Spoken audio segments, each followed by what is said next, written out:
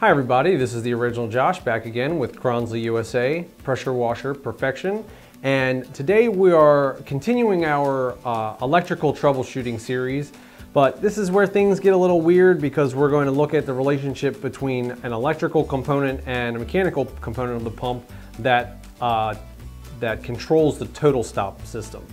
So uh, we've looked at and troubleshooted the micro switch box in another video and we've replaced the micro switch. Now we're looking at the relationship and the interaction between the two and how that could create an issue um, with your total stop system. If you encounter a problem with the total stop system on your Kranzle, this is one of the two items that it could be. So you could release a trigger on the gun and expect the motor to stop, but it doesn't, or you squeeze the trigger on the gun and expect the motor to start and that doesn't occur. In that case, the cause would be related, is most likely related to the control piston of the micro switch, not necessarily the micro switch itself. So we've got the uh, luxury of YouTube magic working in our favor right now. So I've already taken the liberty of loosening some things up, so you will require tools for this. But You've got your flathead screwdriver. Remove your two screws from the pressure switch box. We've done it several times before, so it should be familiar. So this pops right off. You can tuck it out of the way. So As we said, the micro switch interacts with the control piston right here of the, of the pump housing. When we release a trigger on the gun, this small silver button in the center of the brass fitting pops out just about an eighth of an inch. That is far enough for it to push the little button inside the micro switch housing and tell the machine to stop running. If you were to experience where the trigger's squeezed and the motor doesn't come back on, that pin could be stuck in the outward position. If for some reason you release a trigger and the machine doesn't shut off, then the pin could be stuck in the in position. Some of the things that could lead to this are calcium, uh, high mineral contents in your water, uh, perhaps you ran it with uh, off of your water tank on a uh, mobile detailing setup and it wasn't particularly clean water, sat in there over the off season, caused a little uh, grit in there.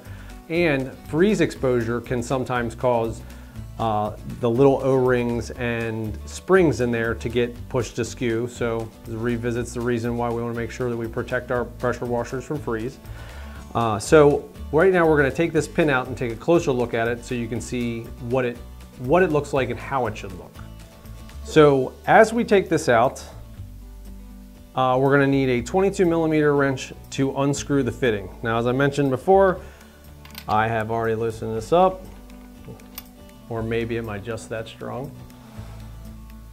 So once you get the fitting unscrewed from the valve housing, you'll notice that it can kind of pull out and the pin may stay inside the housing. now it's important to keep an eye on the parts as it comes apart because it's easy for little pieces to hit the ground, roll away, and you also want to maintain the order of the parts or you could refer to your manual, which I know that you all kept. Uh, I didn't. So you can find it online as well. But here is our pressure switch control piston. This is what the piston looks like whenever it has all of its parts. But as you can see with this piston, some of the parts are still inside the valve housing. so if the pin was stuck in the outward position or stuck in the inward position, sometimes just removing it could either uh, clean off the little mineral deposit that's preventing it from actuating or may even, you know, if an O-ring got slightly uh, pressed askew, this might give us a chance to line it back up properly and this could potentially cure the problem, uh, an error or glitch with your total stop system and you may not need any parts at all. But when you get this out, you're gonna need your handy little pick to get the rest of the O-rings out. So I'm gonna go ahead and do that real quick.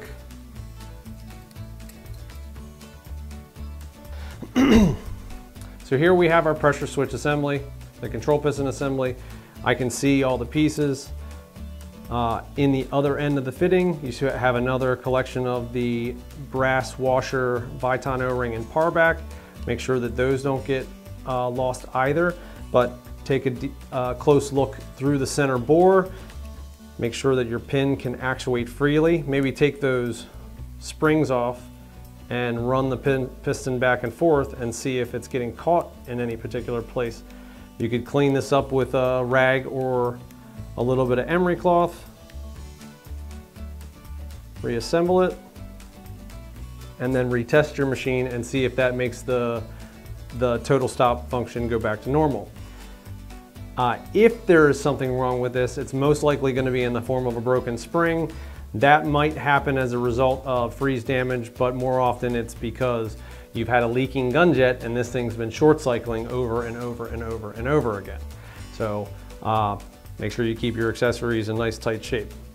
So once we've got our control piston put back together or we have a replacement, make sure you have all your parts, grease it up with your preferred lubricant,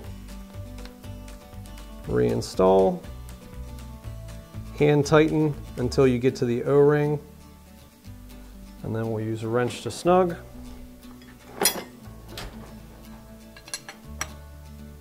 Now did you see that? That's just snug. You don't have to necessarily be a gorilla when you tighten it down. Just snug. now as you see right here, the pin is flush with the face. If it was still defective, we may see the pin already sticking out like so. All right, so once we've got that snug, reinstall your micro switch.